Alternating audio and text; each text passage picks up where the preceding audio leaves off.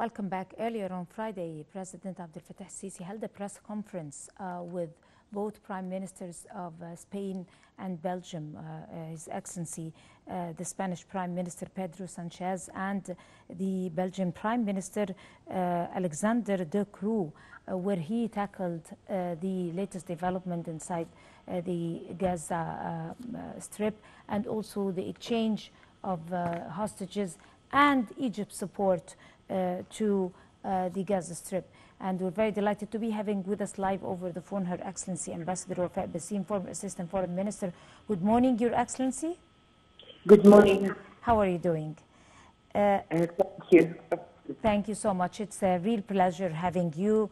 Uh, of course, uh, observing uh, the press conference and the visit of uh, the both prime ministers of Belgium and Spain and meeting President Abdel Fattah Sisi, holding a press conference and uh, uh, expressing their views about the latest developments concerning the Gaza crisis is such a good, uh, I mean, step. now we have, I mean, our foreign policy is affecting a great role uh, I mean, the, the, the, the, scene of the press conference that was held between uh, the, that tripartite meeting, I mean, Egypt, Spain, and Belgium, uh, together with, with uh, I mean, um, uh, also a mediation that consisted of the United States, Egypt, and Qatar. It's a good step on Egypt's part. Egypt is playing an effective role in that particular issue. If you like to elaborate. Yes, definitely. First, we are going, we are having the sort of a glimpse of hope that this um, uh, truce of four days uh, could be extended and established as a longer term uh, ceasefire, which mm. will allow uh, the, uh, the, the, I wouldn't say the recovery of Gaza, but would allow all humanitarian aid to be uh, entered into the Gaza Uh, wounded uh, women, elderly uh, children having the required medical care, especially that most of the hospitals in the Gaza Strip are not now uh, in function. As far as the Egyptian efforts, we have uh, clearly heard the president say that 70% of the uh, humanitarian aid that has been mm. allocated for uh, Gaza and for the Palestinian people in Gaza, whether in the north or in the south, 70% of this humanitarian aid is uh, coming from Egypt. Uh, exactly. That besides also the effort that Egypt is doing to keep the uh, crossing, the Gaza, the Rafah crossing open, and the president has um, ensured and has also stressed that this crossing has never been uh, closed on the Egyptian side, despite the four times it was bombarded by the Israeli forces. Uh, why Egypt is the point uh, or the focal point now of all conflicts, all uh, uh, diplomatic strategies that mm. are taking place since the beginning of the war. It's because it's historically known, it's well, it's well known uh, uh, abiding by the Palestinian cause, but also because it believes in the importance of establishing a, last, a lasting and just peace in the region with the idea of the two states until now. Yesterday, the president has uh, courageously and clearly said that unfortunately 30 years of talks and slogans about the two states um, has exhausted its mandate. and that now we have to think about the importance of the declaring of a Palestinian independent state that would be the uh, object or the subject of the recognition of the whole world. Right. Uh, of course, before we get into details of exchange of hostages and, uh, and uh, evaluating if this is going to be uh, a good uh, helping step towards uh, broadening or extending the truth, President Abdel Fattah Sisi have expressed his concern that through these uh, um, many efforts for mediation towards uh, a better situation for the stranded innocent civilians inside the Gaza Strip, um, and of course the entry of uh, the um, hundreds of trucks that are going to flow uh, to the Gaza Strip through the four days, he also ensured that there should be a priority for securing a safe zone uh, for the uh, uh, Palestinians uh, to, to, settle in because of the um, uh, houses, uh, their houses that was that were bombarded. These are also concerns besides the aids, the medicine, beside the food that should be delivered, the water. I mean, securing safe zones, securing that uh, um, the occupation forces should respect their word, uh, not uh, firing over the people who are trying to move from one place to the other, respecting the right of patients to be treated inside hospitals and not bombarding hospitals and killing children. I mean, these are also concerns that were raised by uh, the president uh, besides delivering the aid to the Palestinian people. Of course, and I other concern that he has raised and stressed uh, times and again is that Egypt rejects completely all attempts on the Israeli side to to let the scenario of the uh, uh, uh, migration and displacing of Palestinians outside Gaza or even uh, in other places.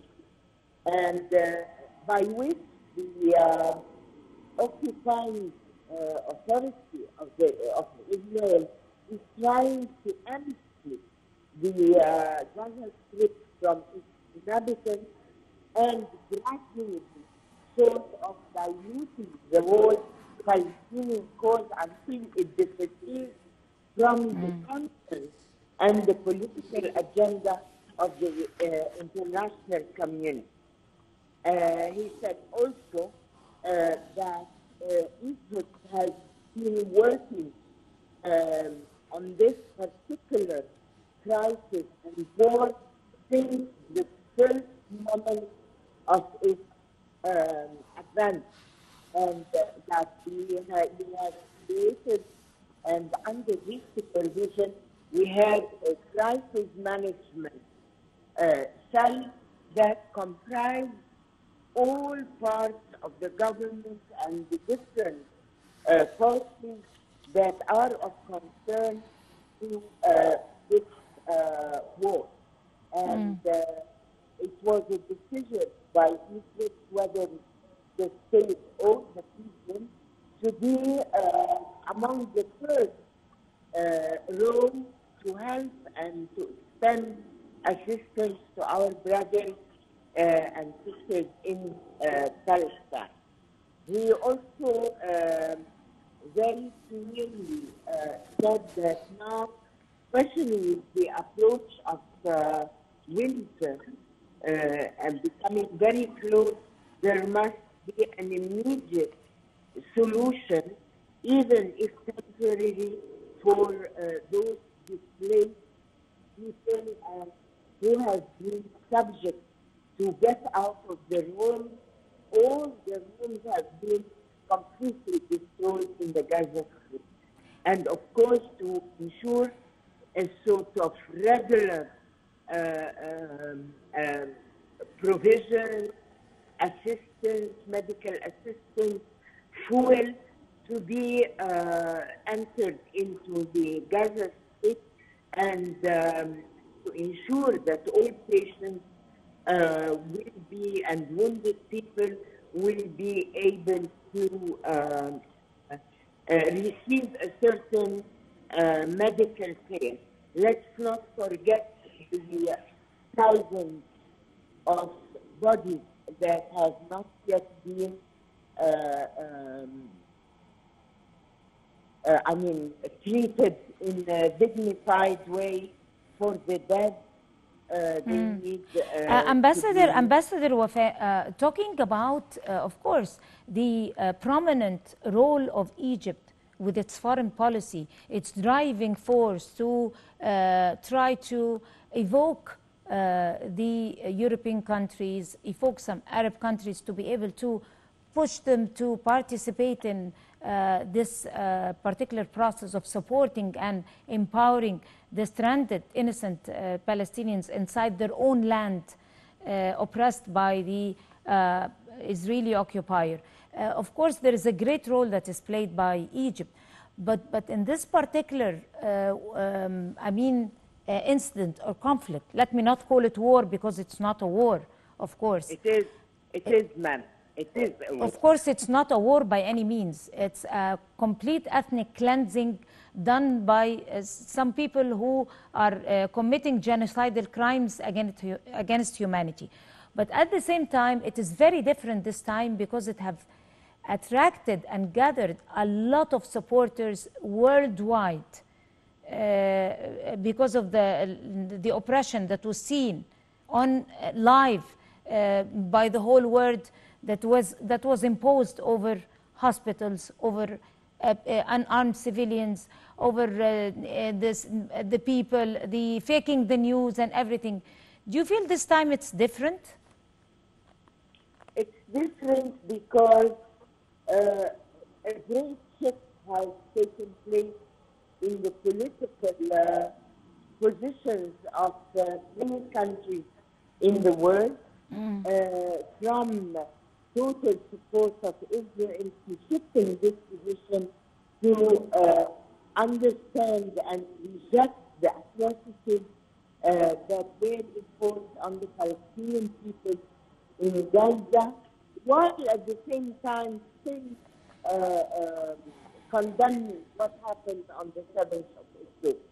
Nevertheless, uh, it's very clear that the international community has realized that there were an, an um, a sort of uh, uh, total punishment and global punishment for all the Palestinian people, whether civilians uh, or not, women, children, elderly, uh, everybody has been subject to these atrocities without even differentiating between a military and civilian, between a hospital and a, a military camp, between a school that has become a shelter for thousands of, people, and between um, other military uh, plants. Right. On that visit and for Egypt, we are part of the uh, campaign that started as a result of uh, the joint summit of the uh, um, Organization of Islamic Countries and the Arab League. Uh, Right. We are part of this delegation. Uh, our Minister of Foreign Affairs has been visiting China. They have been visiting Exactly. Russia, France, England, to explain and re-explain and to campaign for a just and uh, uh, a lasting solution uh, for these atrocities taking place and Right. having a Palestinian state. Exactly. Uh, on, exactly. on the other hand, as you said, the meeting and the press conference of the two prime ministers Right. of uh, Spain and uh, uh, Belgium yesterday with our president, uh, president the, um, uh, the warmth and the commitment, the body language of these two European countries uh, have shown how the, uh, Exactly. the Uh, public opinion has shifted. Exactly, Your Excellency, uh, Ambassador of Baseem, your former Assistant Foreign Minister, would like to thank you uh, so much uh, talking to the Breakfast Show. And by this, we come to the end of this edition of the Breakfast Show. Many thanks to all of you. Until we see you again tomorrow morning, that's a goodbye.